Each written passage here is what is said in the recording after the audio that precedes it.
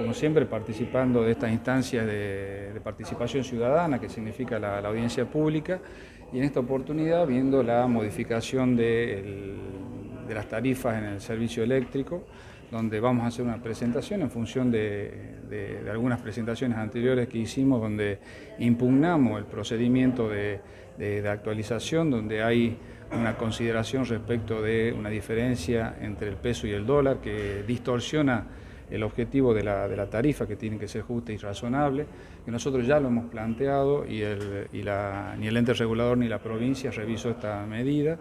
Esto entendemos que este, genera una erogación a los usuarios importantísima que tiene que ser corregida porque las tarifas tienen que ser justas y razonables en función de costos reales y no de algunos dibujos que se producen con estas modificaciones, con estas este, intromisiones en la fórmula de, actualización que no corresponde a la realidad del servicio.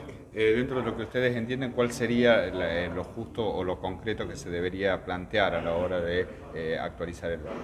Bueno, nosotros creemos que, la fórmula de actualización no tiene que tener el, concepto de, peso dólar y sobre todo que, tenemos que salir del, sistema automático de actualización, sino ir a la revisión técnica integral, este, donde se establezcan los, valores reales, la prestación del servicio y se vaya al nuevo cuadro tarifario que debería estar para febrero del año que viene.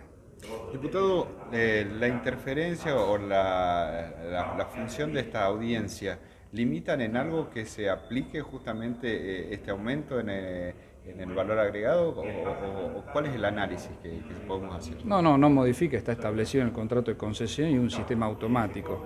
La audiencia pública es un sistema de participación ciudadana, es una formalidad exactamente, pero que es una buena práctica de, de los derechos del ciudadano. Las audiencias públicas se deberían dar en muchos órdenes y el Estado debería atender a los ciudadanos y a los vecinos que hacen presentaciones, ver la razonabilidad de esto y en función de ello este, modificar lo que tenga que hacerse. Doctor, ¿cree que al ciudadano, al usuario, se le da el lugar que, corresponde con sus reclamos y ese tipo de cuestiones? Bueno, la existencia de la audiencia pública es precisamente eso, es darle al ciudadano la posibilidad de expresarse. Lo que pasa es que, En, la, en, la, práctica lo que sucede es que la ciudadanía catamarqueña, la ciudadanía argentina está muy poco amigada con los sistemas de participación directa, como es en este caso las audiencias públicas. Entonces hay que insistir a través de la... De de, las conductas a favor de, la participación ciudadana en esta metodología. ¿Para qué? Para que el ciudadano se sienta representado en estas.